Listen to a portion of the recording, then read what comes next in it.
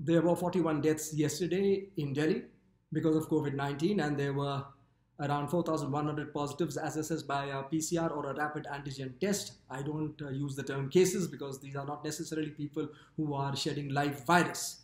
Now, the England policy of a blanket lockdown is rather bizarre. This is based on the advice given to them by SAGE, the Scientific Advisory Group for uh, Emergencies, which is saying that there would be 4,000 deaths every day by the first week of December.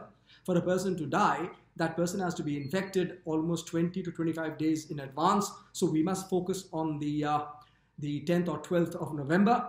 Yesterday, England had about uh, 19,000 cases. Now, the doubling rate in England right now is 10 days. That means by the 10th or 12th of November, we would expect at the most 40,000 cases. But if we take the infection fatality rate of 0.7 as presented by the British government, then 4,000 divided by 0.007 would give us 570,000 cases, which is a near impossibility.